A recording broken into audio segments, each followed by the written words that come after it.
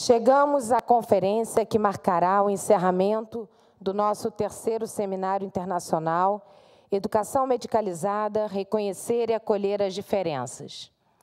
Chegamos aqui acumulando os inúmeros bons encontros que certamente aumentarão a nossa potência de agir no mundo e, por que não dizer, chegamos aqui inspirados pelas definições de biopotência de Peter, que na quarta-feira inflou as velas do nosso veleiro, fornecendo para nós pistas e rotas para a nossa travessia.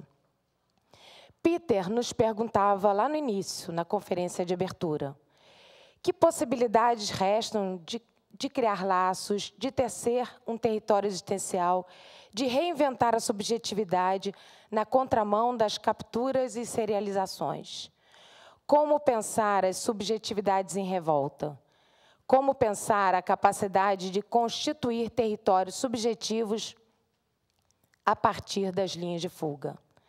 Naquele momento, ao concluir sua fala, Peter nos lançava ao mar. Um mar de desafios na aventura de pensar diferentemente do modo como se pensa. E citando Negri, ele falava: ao lado do poder há sempre a potência. Ao lado da dominação, há sempre a insubordinação.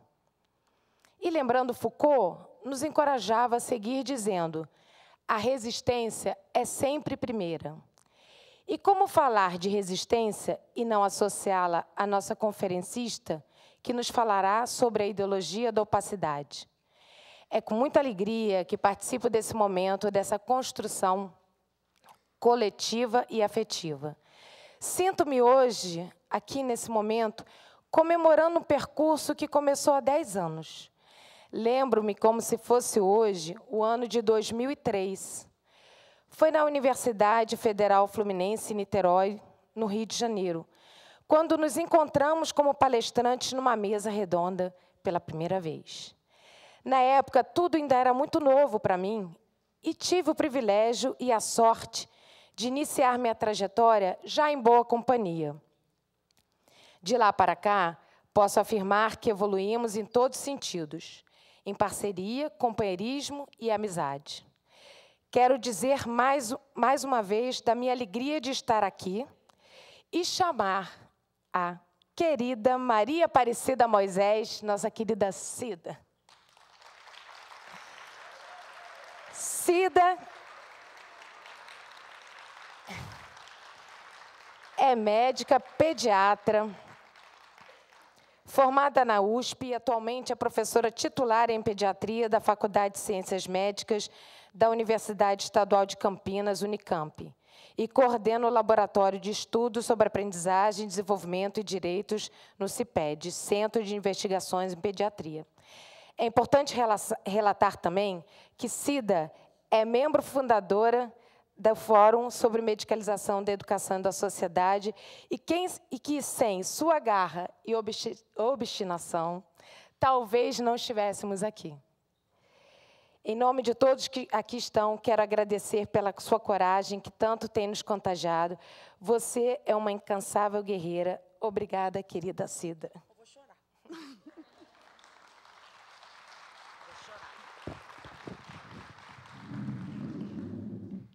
Acho que eu vou ter que chorar. hum. Ah, então tá bom. Bom, eu não tenho como agradecer, né? E é um. Ah, muito bom. Lembro. Lógico. Bom, eu quero. Eu tenho um, um transtorno de não falar sentada. Então, e como eu tenho uma cirurgia de cervical, eu não posso ficar assim, então eu venho para cá, para enxergar. Eu quero iniciar. Bom, boa tarde a todas e todos. É um prazer muito grande. Sumiu. Hã? Não entendi.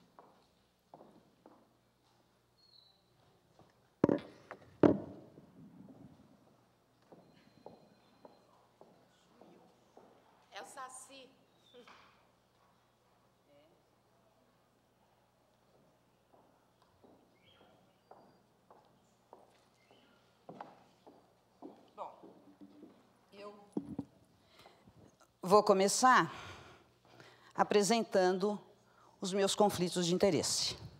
Eu não sei se todos, os que já me ouviram falar já, já acostumaram, né? Eu sou médica e exige-se que os médicos, ao escreverem ou falarem profissionalmente, declarem seus conflitos de interesse. como eu sempre digo, há de ter motivos para isso. Né? E também eu acho que já não é mais só os médicos que deveriam fazer isso, outras profissões também precisariam. E também digo que não basta declarar os conflitos. Parece que ao declarar resolve. Não. Né? É esperado que um pesquisador ou um profissional não tenha outros conflitos de interesse que não aqueles compatíveis com a sua profissão. Então, eu inicio declarando meus conflitos e eu declaro que eu não tenho conflito de interesse com a Novartis, nem com a Janssen, nem com a Shire, com nenhuma indústria, nem com editoras. Eu escrevo livros, mas não ganho dinheiro com isso. Muitas vezes gasto. É, não tenho nenhum conflito financeiro, não ganho dinheiro com esta discussão. Eu vivo exclusivamente do meu salário de professora na Unicamp. Mas tenho, sim, esses conflitos de interesse que são radicais e intransigentes. Né? É, bom, isto posto, eu quero lembrar que a ciência é uma atividade humana, feita por homens e mulheres, os ditos homens e mulheres de ciência. Uma atividade humana que, como todas as outras, não é neutra, não é objetiva, ela é imbuída de razão, sim, mas ela é razão cheia de vida. E vida significa emoções, afetos, raivas, amizades, sentimentos. Como todos os homens e mulheres, os homens e mulheres de ciência também trazem em si as marcas do seu tempo, do seu espaço, da sua inserção social, as marcas dos seus valores e dos seus conflitos de interesses também. Tá? Então, isso é só para lembrar que ciência é uma atividade humana e que é razão, assim como toda vida, ela é Apolo e Dionísio juntos. Tá? Ela se afirma sendo só Apolo, mas ela tem que ter paixão, tem que ter Dionísio junto, porque senão ela é estéreo. Mas tem momentos na vida, e também nas atividades científicas, em que a razão não dá conta. Tem coisas que a gente sente meio difusamente, outras que a gente quer falar, mas que não consegue expressar adequadamente, e descobre que outros já expressaram por nós. Né? Acho que é por isso até que este eh, seminário ele está permeado, alinhavado pelas atividades culturais. As atividades culturais não estão soltas, elas fazem parte da, das atividades científicas deste seminário, porque nos ajudam a refletir. E é por isso também que ele acaba com uma festa. Né? Lembrando que a festa é hoje no Tatu, às 19 horas.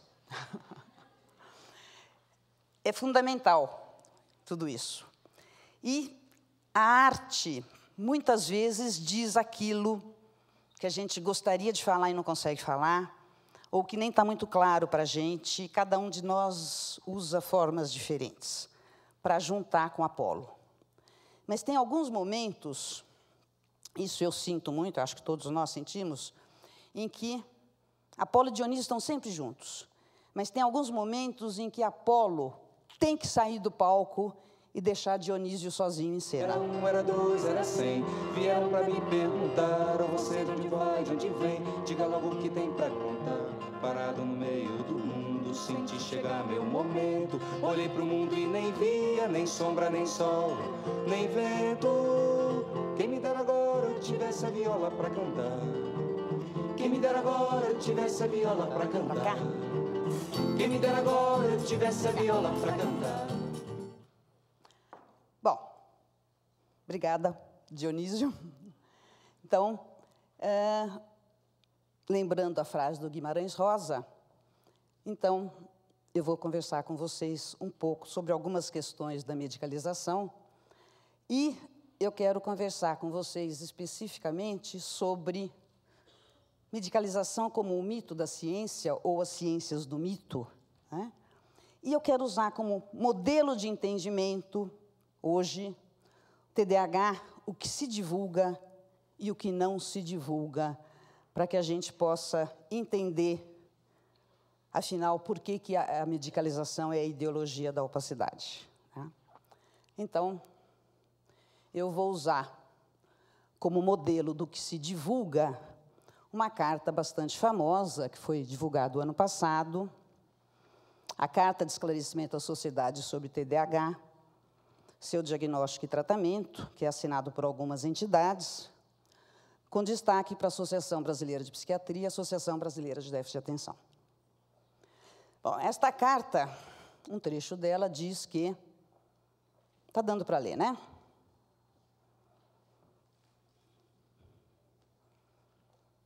Então, é, dizer que isto é uma expressão pública de ignorância, né, porque é investigado cientificamente, e configura crime dizer essas coisas porque veicula informações erradas sobre temas de saúde pública. Bom, então vamos ver o que não se divulga. Nós, do Fórum sobre Medicalização, não negamos a existência de pessoas com esses comportamentos que são enquadrados no diagnóstico de TDAH.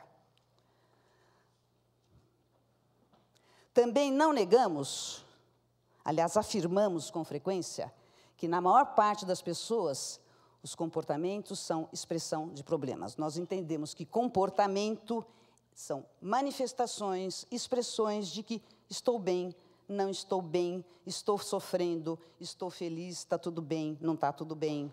Okay? Então, o comportamento é sinal de alguma coisa e não é ele em si o problema a ser enfrentado e muito menos categorizado e classificado. Isso não se divulga. Também não se divulga a nossa concepção sobre comportamento de que ele é uma construção histórica e cultural que se manifesta e ocorre sim, se constrói sim em um corpo biológico. Mas um corpo biológico que tem vida e que interage com o mundo, modificando o mundo e se modificando, porque é um corpo com vida. Isso também não se divulga. Também não se divulga que nós discutimos comportamento como produto social, que tem as marcas da inserção no tempo e espaço, que é a expressão de desejos, conflitos, utopias, e não se diz, afinal, o que é normal e o que é anormal.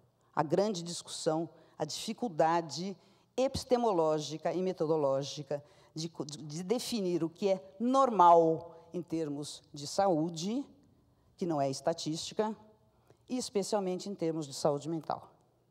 E de comportamento, então, nem se fala.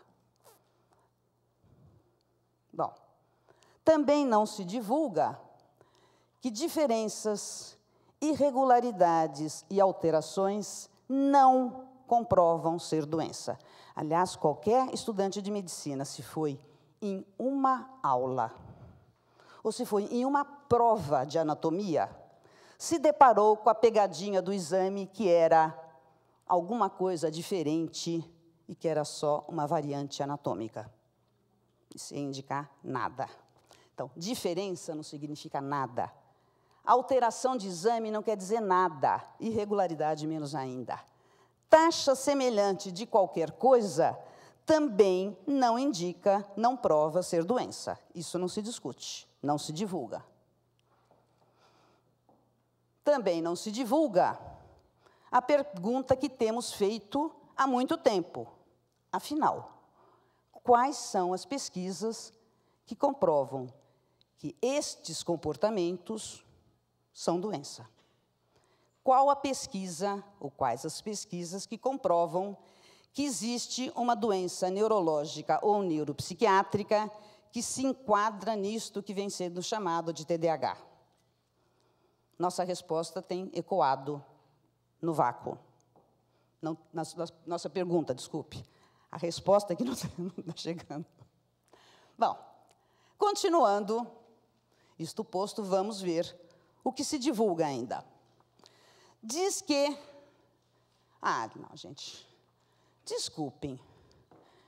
Achar que 20 associações e grupos de pesquisa representam a comunidade científica brasileira, eu achei que a gente era mais que isso. Né? Até porque eu acho que somos comunidades científicas brasileiras. Né?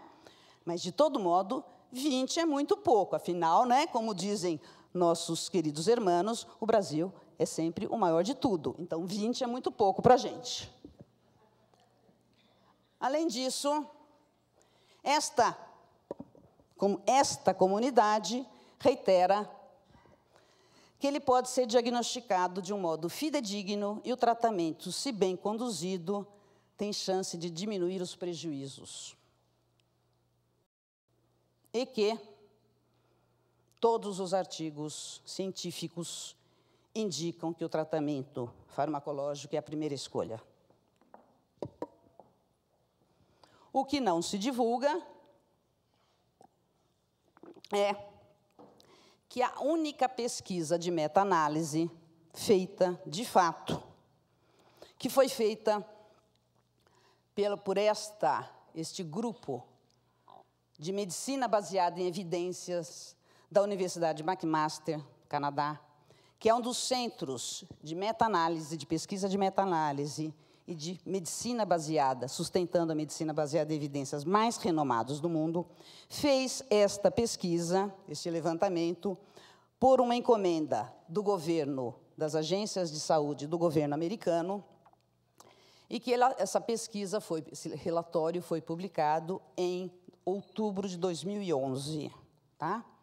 Então, eles investigaram a, a, a efetividade no tratamento de pré-escolares, a efetividade a longo prazo em todas as idades e a variabilidade em prevalência, diagnóstico e tratamento em TDAH em tudo aquilo que havia sido publicado. Então, só explicando, gente, a meta-análise é um tipo de pesquisa que é muito usada em medicina, que é sistematizar tudo aquilo que foi publicado sobre determinado assunto. No caso aqui, não se está discutindo se o diagnóstico é correto, se o diagnóstico não é correto. É ver qual é o tratamento que funciona melhor. Tá? A primeira etapa de uma meta-análise é levantar tudo que foi publicado sobre determinado assunto num determinado período de tempo. A segunda etapa é, lendo tudo, triar e selecionar para ficar só com os trabalhos que são que têm uma metodologia científica bem feita. Aqueles que não preenchem critérios de cientificidade são excluídos e, a partir daí, a análise é feita só com os que foram incluídos.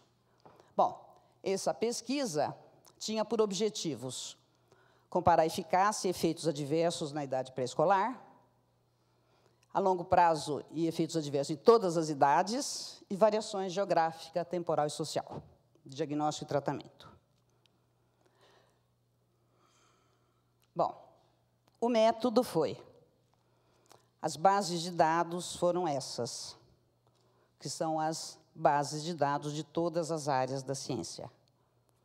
E o período de 1980 a maio de 2010. 30 anos e 5 meses de publicações.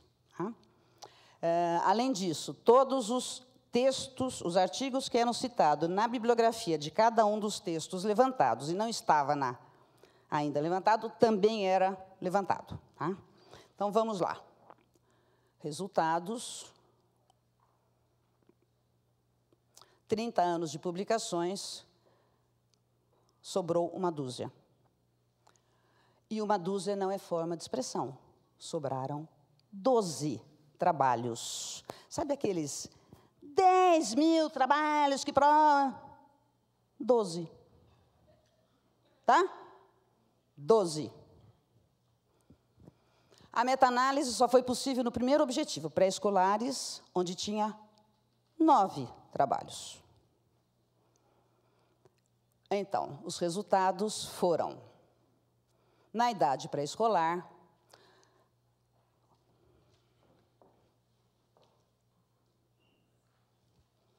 orientação familiar funciona muito bem. Medicamentos, baixa evidência, porque em estatística nunca há ausência né? de bons resultados.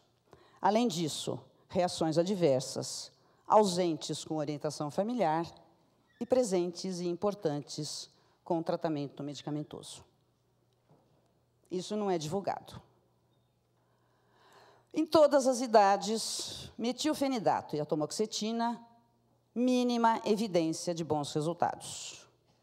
Orientação mais drogas, baixa evidência de bons resultados. Desculpa, gente, faltou um negócio ali, viu? Era que é só orientação familiar, alta evidência de bons resultados. Faltou. É, foi meu déficit de atenção. Resultados. Além disto, Sabe aquela história que precisamos tratar, porque se não tratarmos, no futuro serão dependentes químicos, delinquentes, criminosos? Não há evidências de que o psicoestimulante melhore o prognóstico a longo prazo. Dados sobre aquela história que melhora o rendimento são inconclusivos. Prevalência e tratamento variam segundo características do paciente e principalmente do profissional.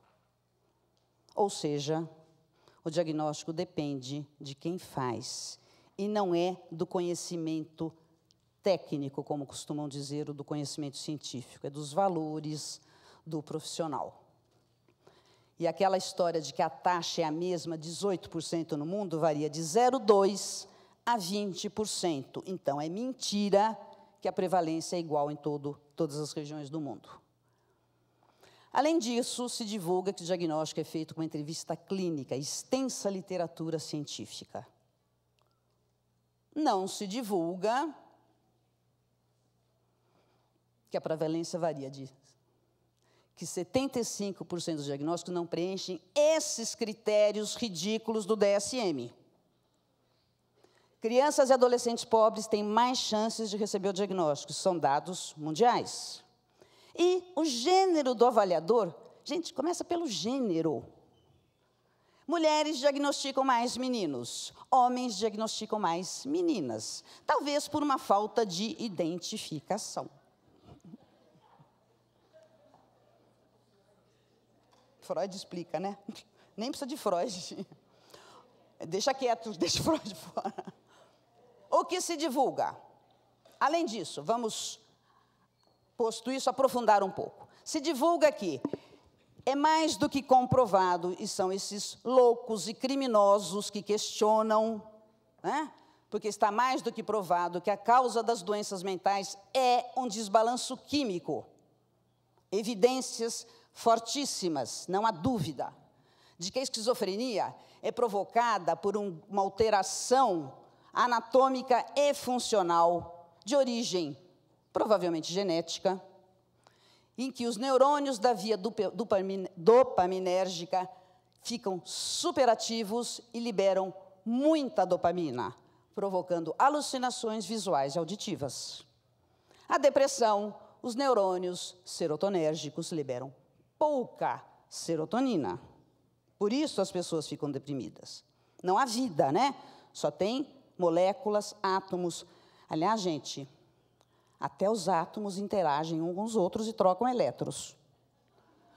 E o TDA e TDAH é porque os neurônios da via dopaminérgica, que ao contrário da esquizofrenia, ficam subativos e liberam pouca dopamina, prejudicando o autocontrole, percepção de realidade e controle de movimentos. Todos nós já ouvimos isso, né? Já nos jogaram isto e que somos irresponsáveis por questionar isso. Além disso, se diz que os, o tratamento com os psicofármacos normalizam o balanço químico do cérebro, porque os antipsicóticos brecam aqueles neurônios superativos, e normalizam tudo e cessam alucinações e os surtos. Os antidepressivos normalizam a serotonina e a pessoa fica mais ativa. E os estimulantes aumentam, normalizando a dopamina. Aí aumenta a atenção, diminui a hiperatividade, melhora a aprendizagem e comportamento. Já ouvimos isto, né? Já lemos. O que não se divulga?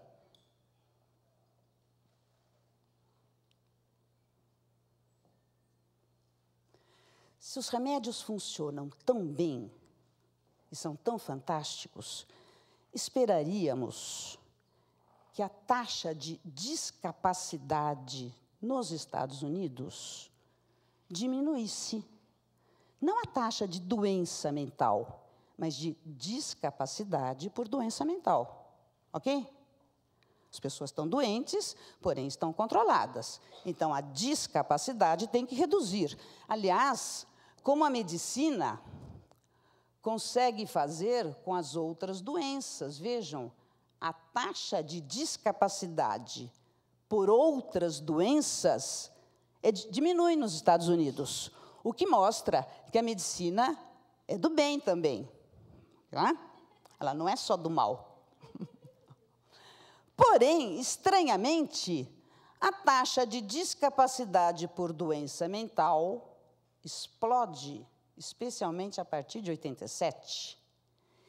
E, a partir de 87, começa a aparecer discapacidade, numa taxa muito importante, antes dos 18 anos. E o que aconteceu aqui? Se isto funcionar, a gente vai saber. Em 1955, surge a clorpromazina, depois, a Ritalina, desculpe, é começada, é começada a usar aqui, em 87, o Prozac. E as taxas de discapacidade mental subiram de 1 para 468, para 1 para 184, para 1 para 76. Então, há algo errado, não está batendo. Se os remédios normalizam tudo e são tão fantásticos, por que as pessoas estão ficando cada vez mais discapacitadas. Né? Isso eles não contam. A discapacidade em jovens menores de 18 anos nos Estados Unidos, em 87, 5% era por doença mental severa. Em 2007, 50%. Tanto porque as outras a medicina está conseguindo controlar, como especialmente porque nas doenças mentais a medicina não está conseguindo fazer aquilo que diz que está fazendo. Então, o que não se divulga? Que não há nenhuma evidência científica que comprove a teoria de desbalanço químico neuronal. O que é que tem de comprovação? É exatamente o contrário.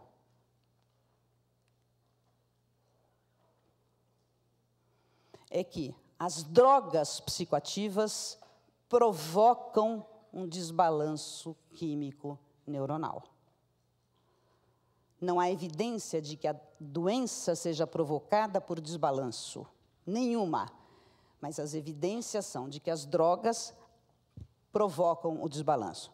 Na verdade, o que se sabe é como as drogas agem. E daí se constrói a teoria de que, se a droga age assim, e ela é usada para tratar isso, a doença só pode ser pelo oposto. É mais ou menos assim a lógica. Né? Se dipirona diminui a febre, a febre é provocada por falta de dipirona.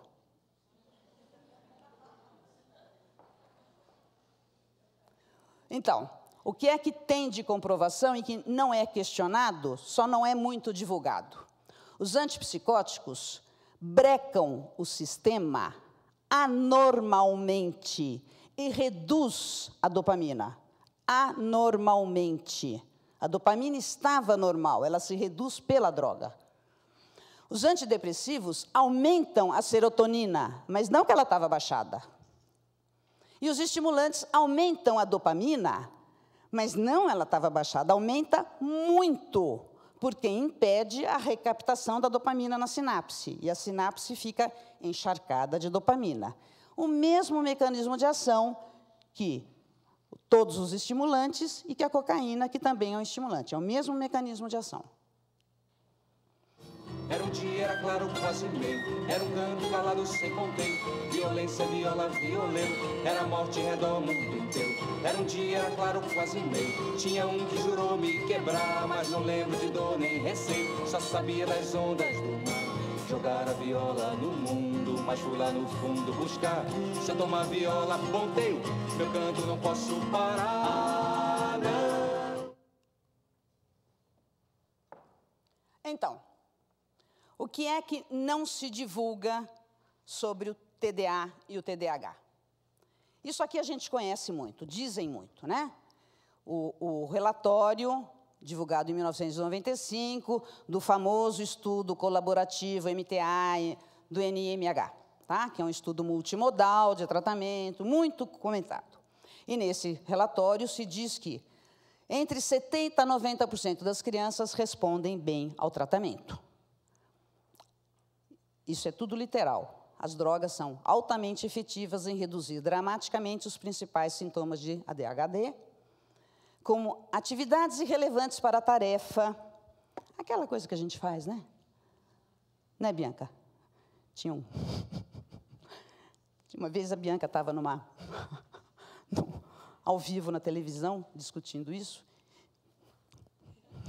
Não ela, o outro, que dizia que ela falou assim: então, tamborilar dedos como o senhor está fazendo. e quem disse que é irrelevante para a tarefa? Gente, por que, que, a tarefa tem que ser só aquilo? Não pode ter mais nada mais? Quer dizer, eu não posso cantar enquanto eu faço uma apresentação, não posso usar música para deixar mais leve e para deixar, como diria Foucault, um pouco de possível, senão eu sufoco? Não, tem que ser aquilo.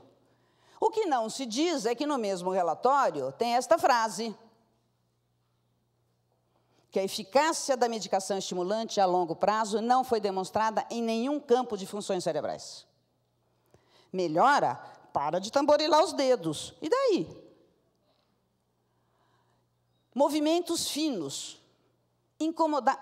Ah, incomodar a classe. Mas não melhorou para a criança. E as crianças que recebem o medicamento?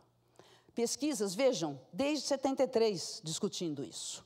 Que elas passam a não acreditar em si mesma, no seu corpo, no seu cérebro, na sua capacidade, mas nas pílulas mágicas que me tornam um bom garoto. O principal efeito dos estimulantes é a melhora no manejo da classe não no desempenho acadêmico. Essa daqui que ninguém conta, né? Os efeitos negativos da ritalina ocorrem nas funções cognitivas mais complexas, aquelas que fazem avançar, como flexibilidade na solução de problemas e pensamento divergente. Aquelas que nas dinâmicas de seleção para emprego são, super, são muito valorizadas. Aquelas que fazem sonhar, ter utopias, questionar, querer transformar o mundo, essas são comprometidas. Além disso, as crianças, veja, Está no livro da Associação Americana de Psiquiatria, de 1994. Estimulantes não produzem melhoras duradouras em agressividade, distúrbio de conduta, criminalidade, desempenho escolar, funções no trabalho, relações conjugais ou ajustamento a longo prazo. Em 97, quando é suspensa a ritalina, os comportamentos do TDAH pegam fogo. E, lógico, Tira a cocaína para ver o que vira. E a excitabilidade, impulsividade e loquacidade pioram muito. É o mesmo mecanismo. Tira anfetamina de alguém que está tomando anfetamina. Vai piorar. Qualquer medicamento psiquiátrico tem o um efeito rebote quando você retira. E piora muito. O que o Instituto Nacional de Saúde Mental dos Estados Unidos diz, escreve e não se divulga Aquele estudo que eu citei lá no começo, que é o famoso, que é o NIMH-MTA, esse trabalho de 2007 é com três anos de segmento, tá? Então vamos lá. O uso da medicação foi marcador significante não de evolução benéfica, mas de deterioração. Isto é, eu estou lendo, eu sei que vocês sabem ler, mas é porque é muito importante. Os participantes usando medicação no período de 24 a 36 meses realmente mostraram sintomatologia aumentada em relação aos que não tomaram a medicação. Em 2009, o segmento de oito anos foi publicado, o uso da medicação é associado à piora da hiperatividade, impulsividade e sintomas de transtorno desafiante opositor. Dá para começar a entender por que está piorando a taxa de discapacidade, né? O que o INMH diz e não se divulga? Este é um dos principais pesquisadores daquele estudo. E ele disse: nós pensávamos que crianças medicadas deveriam ter melhores prognósticos a longo prazo. Não parece ser o caso. Isso eles não contam. Eles também não contam alguns dos fatores que impulsionam essa epidemia de transtorno bipolar.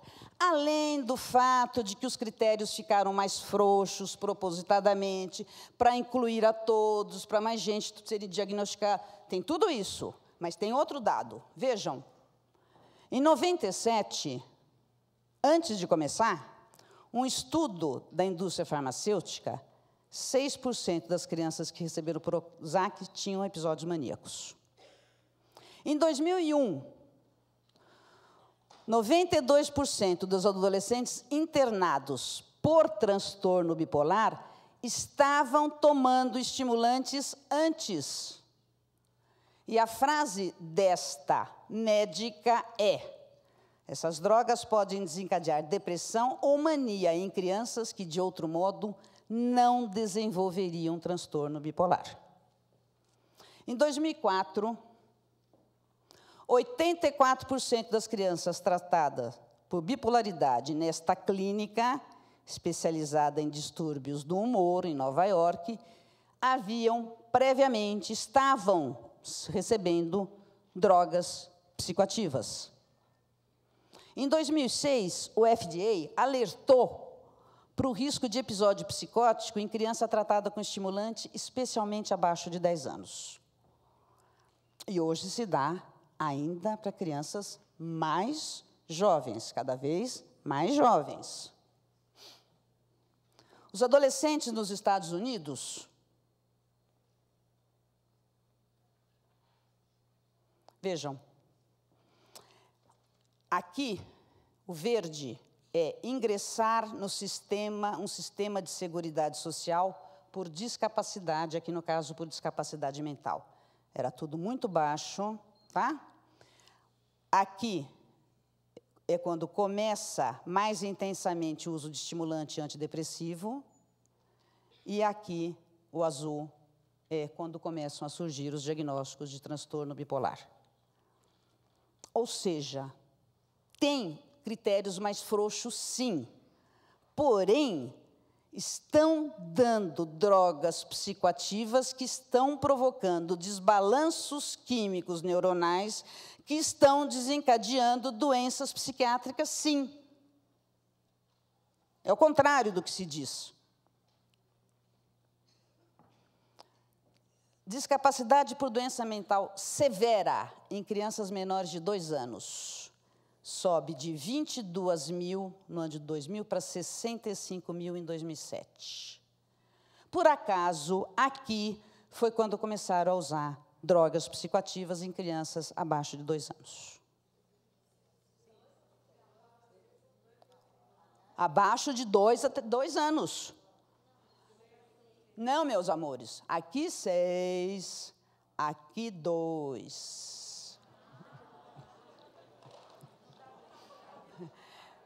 Começa o diagnóstico em discapacidade aos seis anos. Coincide com poucos tempo depois de se começar a usar psicotrópicos em crianças de dois a três anos. Logo depois aparece a discapacidade abaixo dos seis anos, que praticamente não existia antes. Ou quando existia por aquelas doenças clássicas, antigas, ultrapassadas, né? como síndrome de Down, uh, deficiência visual severa, aquelas coisas que não tem remédio ainda. E ninguém se preocupa, nem corações, nem mentes, nem ciência se preocupa delas. Então, também se divulga que fornecer informações equivocadas e ocultar dados científicos dificultar ou retardar o acesso, concordamos com isso. É psicofobia, sim, mas não somos nós que estamos fazendo isso.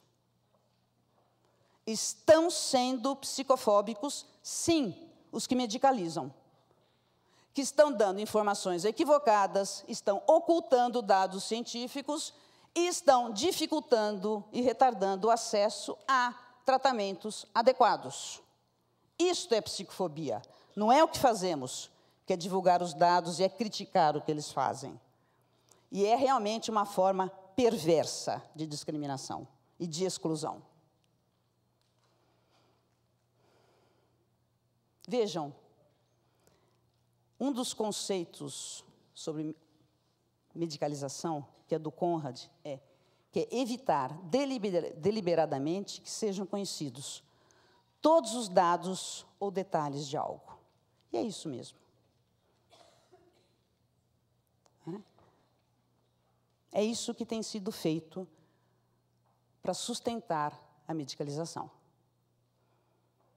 E eu digo sim, que medicalizar é um crime, porque veicula informações erradas e impede o acolhimento adequado e o tratamento adequado. Isto é crime. Medicalizar é crime. No crime não é criticar a medicalização, e tentar construir um mundo diferente, como a gente vem tentando fazer. E aí a gente consegue entender por que é que é necessário não divulgar e tornar opaco. Porque é que a medicalização, ela é em si a ideologia da opacidade. E aí,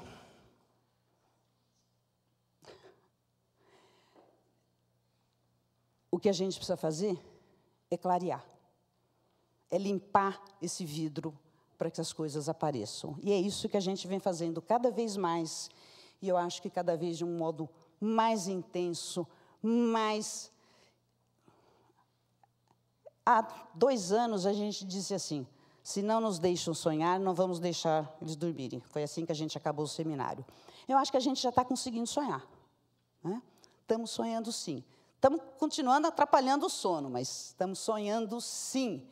E aí, para encerrar, eu acho que eu também vou me retirar de cena e pedir para o Dionísio voltar. Era um, era dois, era cem. Era um dia, era claro, quase meio. Encerrar meu cantar já convém, prometendo um novo ponteio. Certo dia que sei por inteiro. Eu espero não vá demorar. Esse dia estou certo que vem. Digo logo que vim para buscar correndo no meio do mundo, não deixa a viola de lado, vou ver o tempo mudado e um novo lugar pra cantar. Quem me dera agora eu tivesse a viola pra cantar. Quem me dera agora eu tivesse a viola pra cantar. Quem me dera agora eu tivesse a viola pra cantar. Quem me dera agora eu tivesse a viola pra cantar.